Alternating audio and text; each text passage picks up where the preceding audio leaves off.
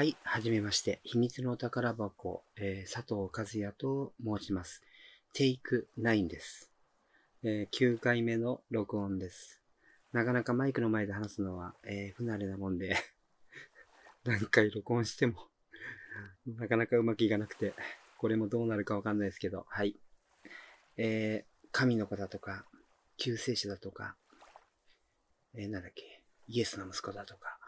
なんかそういう言葉を誰に聞いても信じるわけないようなことを言っている、インチキカルト教団の教祖と思われている男でございます。はい。えー、2010年に出版して以来、まあ中には、あの、親切な読者の方もいらっしゃって、遠方からわざわざ会いに来てくれる方もいました。北海道、沖縄。で、実際に会ってみると、あ思ってた人とちょっと違いましたって言われることが多いです。どういう風な感じでっていうと、まあもうちょっとなんか怖い人かと思ってましたっていう人が多くて、え、それどういうことっていうと、えーもうちょっとなんか、マツコ・デラックスさんが着るような服、ふわふわっとした白い服でも着て、首にジャラジャラジャラっとこう、数珠でも巻いて、手足に数珠をこう巻きつけて、そして、おーっつって、手をこう合わせて、お祈りをしてくるような、あそういうキャラかなと思ってましたね。男も女もそういう風に言う方が多いです。まあでも、あの、実際に会ってみるとそういうタイプではないです。はい。えー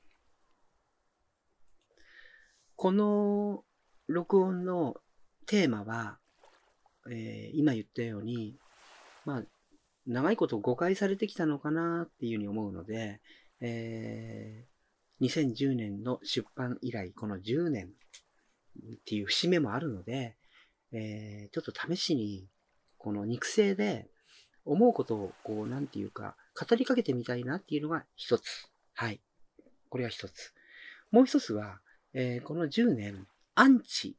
の攻撃を受けてきました。で、よく、えーなんか攻撃をされて、えー我々は、あの、自分も読者の方も、それに反撃もしないで、あの、相手にしないっていう態度で来ました。ところが、アンチっていうのは、逃げたっていうわけです、これね。逃げた。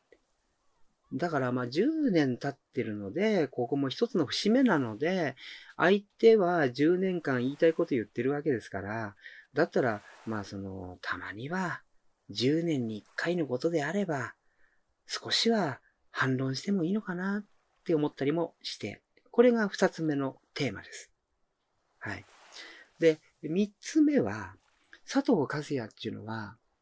何もそんな芸があるわけでもないし、えー何かいろいろ勉強してきて、人様になんかこう、糧になるような話ができるかどうかわかりません。わかんないけども、えー佐藤和也なりの体験談を話していこうかなと思ってます。つまりその不思議な話をちょっとしてみたいなと。で、どあの、秘密の宝箱を読んだ方には、えー本の一つの裏話みたいなものとして聞いてもらえれば楽しめるかなと思います。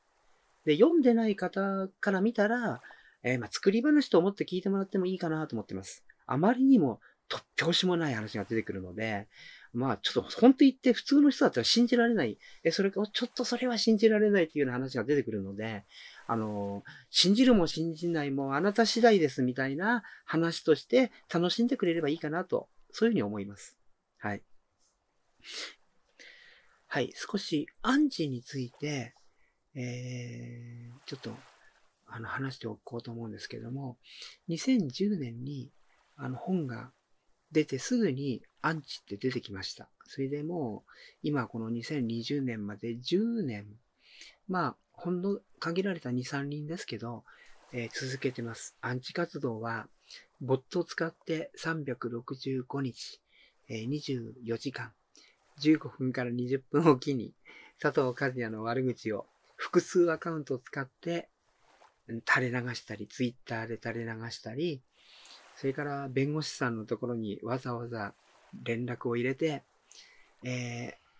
ーなんか、すごく世の中を今惑わしている、えーあんえーなんだっけ、カルトがいますよって言っ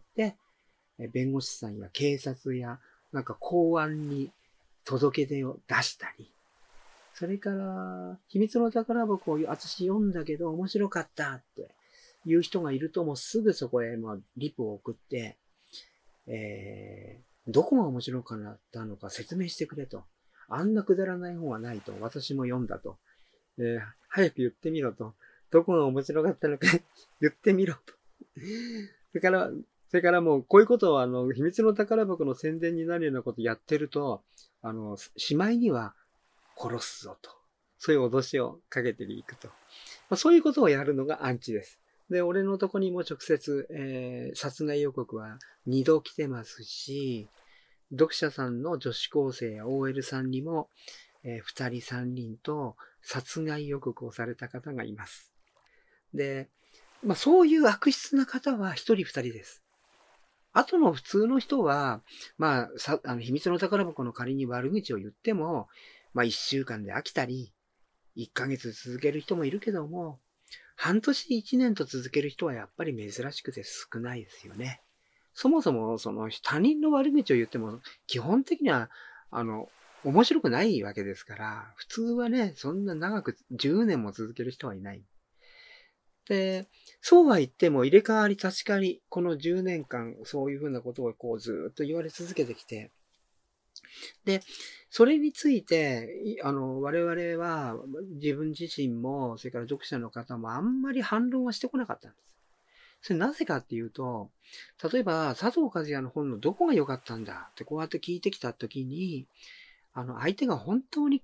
それを知りたいなら、誠実に教えてあげることもいいことだと思うんだけど、相手はね、質問の手を取ってても、聞いてるんじゃなくて、否定してるんだよね。だから、いや、私こういうとこが好きだった？こういうとこが、あの、勉強になった？って仮に言おうもんなら、何言ってんだっつってこうやってもう、喧嘩みたいな感じになるわけじゃね。それが、ずーっと長い時間かけて平行線を続けるわけ。相手は、論破したいっていうか、なんて言うんだろう。相手をも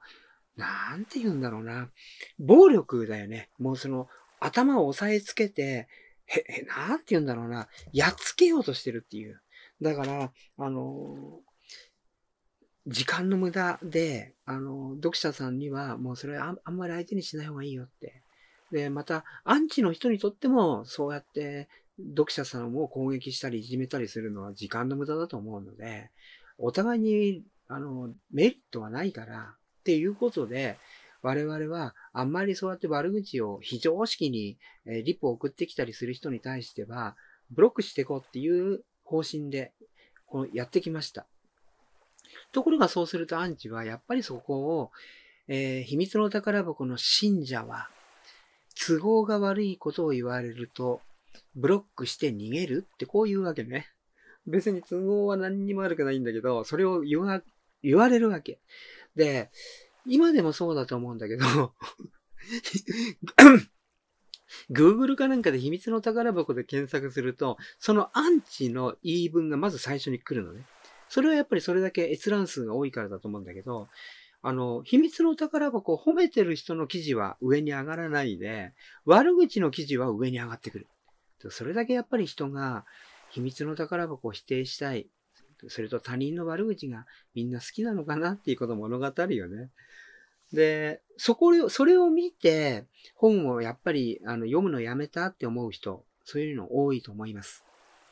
あともう一つは、あの、それを見て、それ、そのアンチの意見に準じる、準ずる形で、えー、Amazon のレビューで、えー実際には自分は読んでないのに、えーなんていうのかな、アンチの言うことをそのまんま書いてみたり。そうね。だからそういう人がね、意外に多いんだよね。750ページもある本っていうのはこんな、あの、電話帳みたいな厚さがあるから、わざわざそれを全部読んでから悪口言おうっていう人ってあんまり少ないんだよね、やっぱり。だから、読まないで悪口を言いたい。そうするとどうするかっていうと、誰かが上げてるその言い分を鵜呑みにして、同じようなことを書くっていうことが、まあ、10年続けられてきました。今でも Amazon の星1レビューは、まあ、大体同じ、大体同じこと書いてあるみんな。それとね、半分ぐらいはまず読んでないって自分で言ってる。うん、本を読んでないけど、なんか信者のツイッター見てると、まあ、あの、あなんだろう、カルトみたいなもんだと思ってるから、えー、私は、えー、買ったけど、火をつけて燃やしましたみたいな。それ嘘だなって 思ったりもしますけどね。ただ、まあ、要するにそういうことで、この、自分のことを悪く言われても、まあ、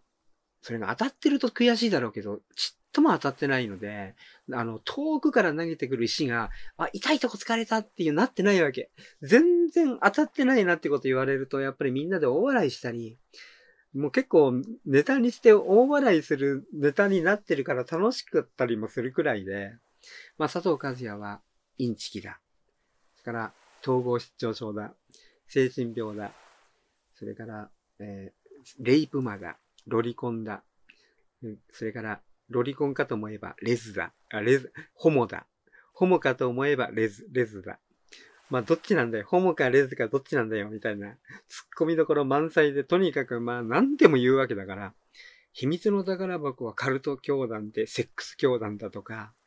それから、なんかもう、本当に作り話をして、信者を被害者が多いみたいな。でもしも仮に本当にレイプ被害があって、被害者がいるなら、それ警察に言えばいいんで、警察に言って、起訴でも、起訴されればいいので、まあ、これは一つの事実として、2010年に本を出版して以来、一件の訴訟も、えー、起訴もされてません。えー、佐藤和也は そんなにセックス教団で、レイプまでロリコンでひどいことしてたら、まあ一回ぐらい事件になっててもいいと思うんだけど、一件もないです。当たり前だけどね。まあそういうことでね、あの、あの、佐藤和也の悪口は、まあちょっと笑えるところもあったけども、それが、読者さん、佐藤和也の秘密の宝箱を褒め、推奨してる奴らはみんな頭がおかしい。って、まあこう言うんだけど、えー、頭がおかしいどころか、えー、有名大学、東大、えー、国立大学はじめ、え、有名大学や、で、卒業してる方や、えー、それからあの、帰国子女で英語ペラペラの人や、えー、なんだっけど、飛行機の免許持ってるような人や、いろんな人がいますよ。俺がタクシーの運転手で高卒だからって、読者もタクシーの運転手で高卒ってわけじゃないんだから。それからね、タクシーの運転手さんこう言ったら失礼だよね。俺がいたタクシー会社には、えー、早稲田、慶応、六大学一通りいたからね、タクシーの運転手さんでも。だからタクシーの運転手だからバカだとか、学歴がないから妄想癖だとか、まあ、アンチってずっとそれを10年言ってたけど、それはやっぱりたまには俺もね、反論してもいいのかなと思うんだよね。全、日本中のタクシーの運転手を敵に回すよ、そういう言葉は。そうよね。で今まではそういうことをいちいち反論してこなかったの。この10年ね。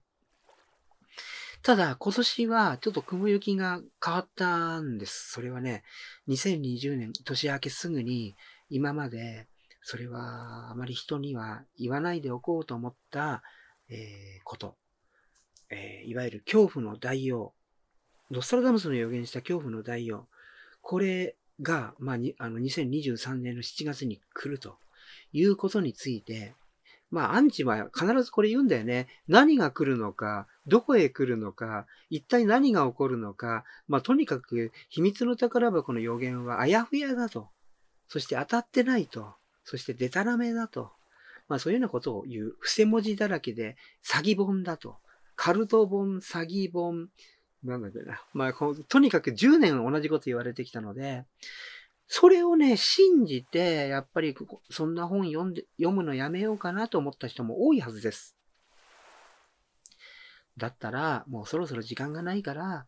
えー、そういうことを自分なりに考えたんだけど、そろそろ行ってもいいのかなって思って、2020年の1月に今年の元旦ですね。秘密の宝、あ、えー、恐怖の大王の正体と、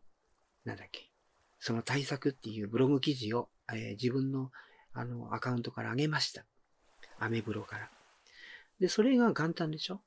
そうこうするうちにね、すぐね、コロナ、コロナがちょっと中国で流行り始めたんですよね。で、これ、もう、勘のいい読者さんたちはパンデミックかって言い始めたのが1月の半ばです。で、俺もね、そう思ってた。でもね、これがどうなるかわかんないからね、大々的に言わない方がいいよ、言わない方がいいよ。何にもないかもしれないんだからって自分は言ってたけどね。でもそれがやっぱりこう、だんだんだんだんと広がってきて、まあ今、あの、2020年の3月ですけど、やっぱり、あの、パンデミックな状況になってきてるよね、世の中はね。で、えー、そういうことがあって、で、自粛になって、まあ、自分なんかも、一日おきに、あるいは毎日のように、スポーツクラブにこう行ってたんですけども、そういうところもちょっとこう、自粛ムードになって通いづらくなったりして、ちょっとね、自分も少しこう、家にいる時間が少し長くなってきたので、まあそういうこともあってね、こうやって録音してみようかなって思ったのは、これがきっかけです。うん。まあ、あの、随分長いこと、あの、佐藤和也は誤解されてきたんだろうなと思うので、えー、まあ、もちろん自分の言うことは、なんかあの、常識外れの奇想天外なお話なので、こうやって、あの、お話をしたからといって、あの、信じてくれる人というのは少ないだろうと思ってますけどね。でも、な、なんていうのかな。さっきも言ったように、本を読んで、えー、面接に来た人ですら、あの、白い服を着て、数珠を首からいっぱいぶら下げてるような感じの人だと思ってましたってこういうわけだから、だから、やっぱりその、ちょっとこう自分の肉声で語りかけたいなーって、まるでラジオの番組でもやるように